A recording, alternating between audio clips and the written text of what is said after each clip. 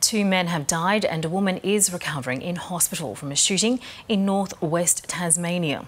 Police who attended the home have described it as a confronting scene that was over in minutes. Reporter Monte Bovill has more from Devonport.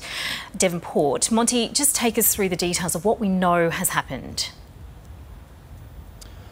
Well, what we know right now is police were called here to a property behind me on William Street in the northwest Tasmanian city of Devonport at around one o'clock this morning.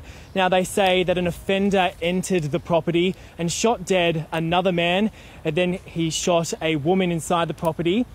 She managed to escape and run to a neighbour's uh, house to raise the alarm.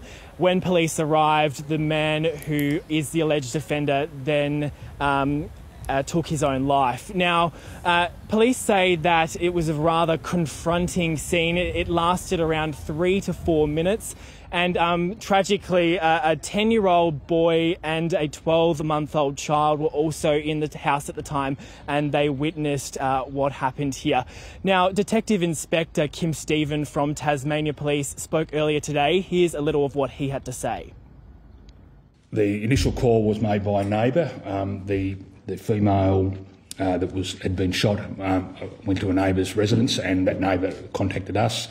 Um, police arrived, and there was um, a further shot um, after the police arrived, which we believe was um, the uh, offender taking his own life. Detective Inspector Kim Stephen there. So, Monte, what now is happening to the woman who was injured and those children who were present?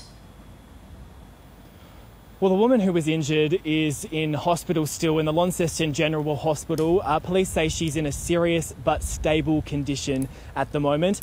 Now, the both uh, both children were taken to the Northwest Regional Hospital. They weren't physically injured, and they're now in the care of their grandparents. But certainly a very tragic event that's happened here in Devonport, and police say that they'll be using body cam vision of what um, happened to help them in their investigation that's going to take a number of days to resolve.